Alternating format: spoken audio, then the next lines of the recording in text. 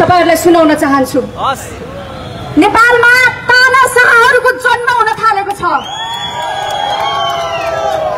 नेपालमा लोकतन्त्रको गर्वबाट लोकतन्त्रको जोगमा टेकेर तानाशाहहरू जन्मिन थालेका छन् साथीहरू।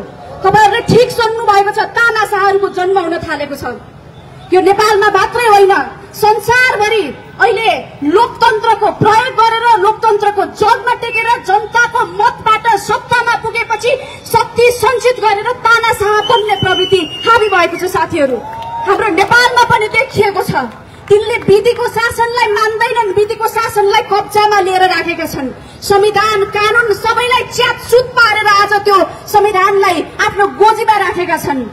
र तिनीहरूले कसैले उनीहरूको विरोध गर्दामा भ्रष्टाचारको बारेमा विरोध गर्दामा भ्रष्टाचारका बारेमा आवाज उठाउँदामा अहिले तिनीहरूले कानूनले तिनीहरूलाई नै तिनीहरूले नै कचाकुचुक पारेर त्यो थुपारेका कानूनका दफाहरू पचासतिर घुमाएर कानूनको प्रयोग गरेर अहिले तिनीहरूले ती आवाजहरूलाई दबाउनको लागि प्रयत्न गरिरहेका छन् साथीहरू।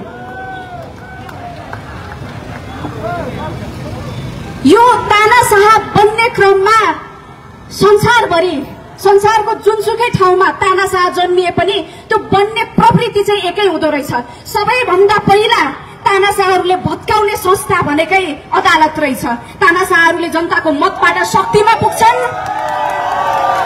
शक्तिमा पुगिसके पछाडि ती भएका सङ्घ संस्थाहरू जुन चाहिँ कानूनसम्म चल्नुपर्ने हो विधिसम्म चल्नुपर्ने हो ती सबै सङ्घ संस्थाहरूलाई अब आफ्नो मुठीमा पार्छन्। मुठीमा कसरी पार्छन् भने राजनीतिक नियुक्ति दिएर पार्छन् साथीहरू। आज संवैधानिक आयोगहरूमा राजनीतिक नियुक्ति छ आफ्ना मान्छे भर्ती गर्नु पर्यो। आज विभिन्न सङ्घ संस्थाहरूमा प्राधिकरणहरूमा राजनीतिक नियुक्ति छ साथीहरू। तपाईँ हामीले देख्न सक्छौँ राजनीतिक नियुक्ति नभएको अहिले एउटा ठाउँ पनि छैन एउटा संस्था पनि छैन। राजनीतिक नियुक्ति गरेर हरेक संस्थामा आफ्ना मान्छे छिराउने र ती मान्छेबाट ती संस्था कब्जा कब्जा गर्ने नागरिकहरूलाई दुःख दिने नागरिकहरूलाई आवाजहरूलाई दबाउने प्रयत्न गरिराखेको छ साथीहरू। त्यसैले नेपालमा यो ताना शाहको जुन बन्ने क्रम बन्ने बाटो खन्दैछन्। यसलाई हामीले रोक्नुपर्छ साथीहरू। आज हामी यहाँ उभिँदै गर्दाखेरि आज समाचारका हेडलाइन्सहरू र सामाजिक सञ्जालका भित्ताहरूमा एउटा भाष्य निर्माण भएको छ कि यो भिडले अदालतलाई प्रभावित पार्न खोज्यो आज यो मञ्चबाट म तपाईँहरूलाई भन्न चाहन्छु हामीले कुनै अदालतलाई प्रभावित पार्नलाई यो भिड जम्मा भएको होइन साथीहरू यो भिड जनतालाई जनतालाई सुख दिनको लागि नेतृत्व गर्ने नेताहरूले आज गलत गरेका कारणले ती जनता खबरदारी गर्नको लागि यो भिड जम्मा भएको यो भिड सरकारलाई प्रश्न गर्नको लागि जम्मा भएको हो साथीहरू। यो भिडले प्रश्न गरिरहेको छ भुटानी शरणार्थीको मुद्दा कहाँ पुग्यो? यो भिडले प्रश्न गरिरहेको छ व्हाइट बडीको मुद्दा कहाँ पुग्यो? यो भिडले प्रश्न गरिरहेको छ गिरीबन्दीको मुद्दा कहाँ पुग्यो? अझै धेरै नेपालीहरूको विश्वास जित्न बाँकी छ। हामीले काफी कामहरू गर्न बाँकी छ। हामीलाई तपाईँहरूले शङ्काकै घेरामा राख्नुहोस्। हामीलाई निगरानी गरि नै रहनुहोस्। तर म एउटा प्रश्न तपाईँहरूलाई गर्न चाहन्छु। तपाईँहरूले भोट हालेर पठाएका नेतृत्वहरूले गलत गरिरहेको अकर्मण्यताको दृश्य तपाईँको आँखाले कसरी देख्न सकेको छ साथीहरू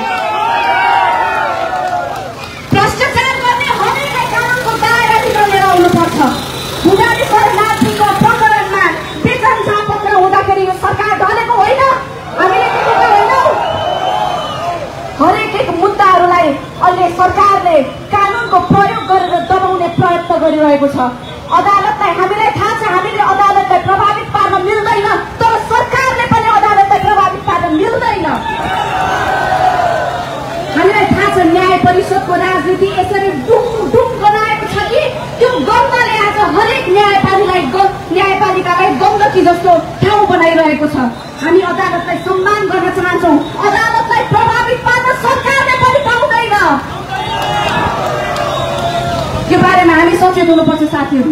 आजको यो भिडले नेपाली जनताले दुःख गरेर जनताको शासन लागू होस् भनेर लोकतन्त्रको लागि लडेर लिएर आएको लोकतन्त्रको जगमा उभिएर आज यो तानाशाह बन्ने प्रवृत्ति जुन सरकारले देखाइरहेको छ यसको विरुद्धमा हामी उभिएका छौँ। यो राष्ट्रिय स्वतन्त्र पार्टीको मात्रै अभियान होइन यो हरेक एउटा नेपाली जसले हामीमाथि शुभेच्छा राखिरहेको छ तिनीहरूको आवाज हो। आज यो हाम्रो आन्दोलनमा सहभागी हुनको लागि सरकारले भनिरहेको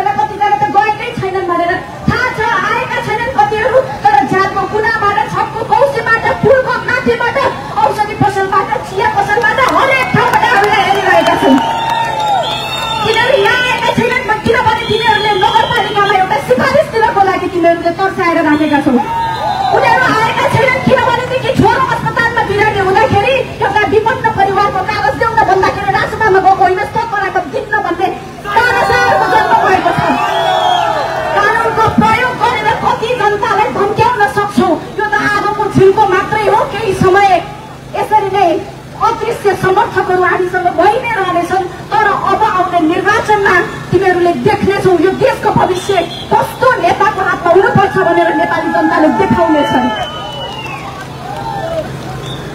आदरणीय जनसमुदायहरू यो देशमा हामीले राजनीति गर्नको लागि जुन किसिमका पात्रहरूको अपेक्षा गरेका छौँ त्यो पात्रहरू सही गर्छन् कि भन्ने आशै आशमा ती पात्रहरू त तानासाहको बन्न लाग्यो। हामी यो समयमा राजनीतिमा प्रवेश गर्नुको पछाडि एउटा मात्रै उद्देश्य छ। यो देशमा विधिले शासन गरोस्। व्यक्तिले शासन व्यक्तिको शासन होइन विधिको शासन स्थापित होस्।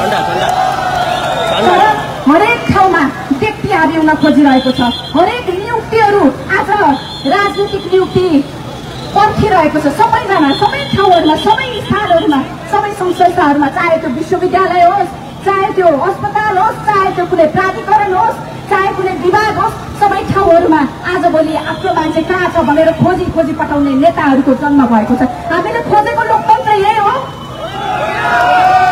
त्यसैले यो मास जुन छ यो मासले नेपालको अबको भविष्य निर्माण गर्नको लागि राज्य सरकार जुन तरिकाले अगाडि बढिरहेको छ त्यो खबरदारी गर्नको लागि हो।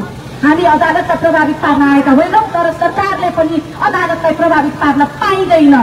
हामीलाई थाहा छ जुन दिन पोखरामा यहाँ घटना भयो हाम्रा श्रीमानहरू सबै बिरामा हुनुहुँदो रहेछ। छुट्टीमा बसेको बेलामा दुई बजे एकजना न्यायाधीश आउनुभयो भन्ने कुरा हामीले समाचारमा पढ्यौँ। हामी अदालतमाथि शङ्का गर्न चाहँदैनौँ तर के भइरहेको छ भन्ने हेक्का हामीलाई राम्रोसँग थाहा छ।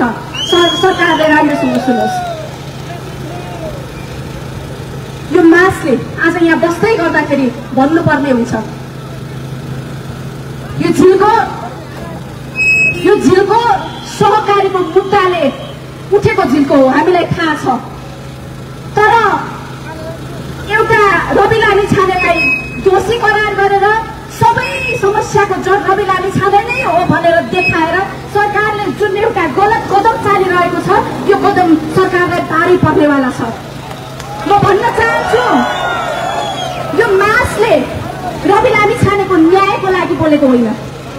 रवि लामी छाने न्यायको कडीमा हुनुहुन्छ हामीलाई अदालतमाथि विश्वास छ भोलि एक दिन उहाँ सफाइ पाएर निस्किनु नै हुनेछ। तर यो मासले आज प्रश्न गरिरहेछ सरकारलाई। सतासी अर्ब रुपियाँ कहाँबाट तिर्ने योजना बनाइरहेको छ सरकार। हरेक एक नेपाली नागरिकको आज सहकारीमा पैसा फसिरहेको छ देशव्यापी रूपमा पैसा फसिरहेको छ। त्यो पैसा कसरी तिर्ने भन्ने कुराको सरकारले योजना के दिएको छ?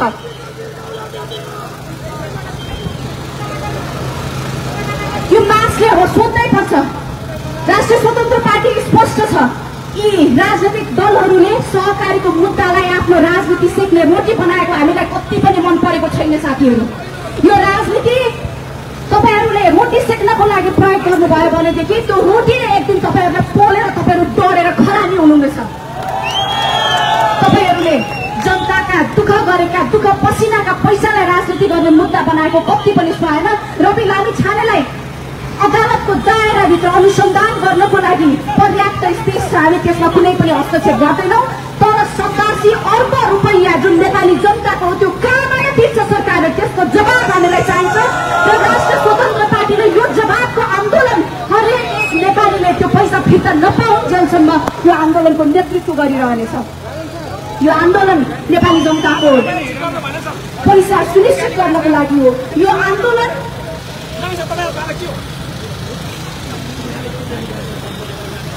यो आन्दोलन भ्रष्टाचारीहरूलाई जोगाउनको लागि जुन कदम उठाइरहेको छ सरकारले त्यो सरकारको कदमको विरुद्धमा हो। त्यसैले यो आन्दोलनमा तपाईँहरू जो जहाँ हुनुहुन्छ राष्ट्र स्वतन्त्र पार्टीको मात्रै आन्दोलन होइन यो सरकार जुन तानासाह बन्ने घोडबाजीमा हिँडिरहेको छ यो सरकारलाई खबरदारी गर्नको लागि हो। व्यक्तिको शासनमा बस्छ यो देशमा हामीले त्यत्रो मेहनत गरेर दस दस वर्ष लगाएर लिएर आएको संविधानको दर्जी उडाउने यिनै नेताहरू होइनन्। यी नेताहरूलाई अब हामीले के भन्ने? त्यसैले यो आन्दोलनमा सहभागी हुनुहोस् म सबैजना नागरिकहरूलाई म आह्वान गर्न चाहन्छु। यो आन्दोलनमा तपाईँहरूले यो जनतालाई प्रश्न गर्न पाउनुहुन्छ। प्रश्न गर्ने नै आन्दोलन हामीले गरेका हौँ। त्यसैले आउनुहोस् सहभागी हुनुहोस्।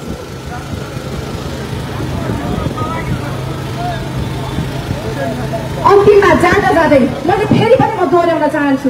तपाईँहरूलाई हामीले धेरै कुरा भनेका छौँ। तपाईँहरूले हामीलाई शङ्काको घेराभित्र राखिरहनु भएको छ। निगरानीको घेराभित्र राखिरहनु भएको छ। राख्नुहोस्। हामीलाई बोल्दै बोल्दै हाम्रा गल्तीहरू केही छन् कि? हामीले बोलेका झुटा हुन् कि? हामीले बोलेका साँचा हुन् तपाईँहरूले मजाले हेर्न सक्नुहुन्छ। तर तपाईँहरूले भोट हालेर पठाएका नेताहरूले गरेको भ्रष्टाचारलाई चाहिँ नगरिदिनुहोस्। यो नेपाली जनताको हित विरुद्ध हुनेछ नेपालको भविष्यको विरुद्ध हुनेछ। त्यसैले यो आन्दोलनमा सहभागी भएर तपाईँले कुनै एउटा राजनीतिक दललाई समर्थन गरेको अथवा कुनै एउटा नेतालाई समर्थन गरेको मात्रै हुने छैन। यो नेपालको भविष्यको लागि तपाईँले चिन्ता गरेको ठहरिनेछ त्यसैले सम्पूर्ण साथीहरूलाई आन्दोलनमा सहभागी हुन म आह्वान गर्न चाहन्छु। सँगसँगै जोड्यौँ। अब म यो माइक हस्तान्तरण गर्न चाहन्छु।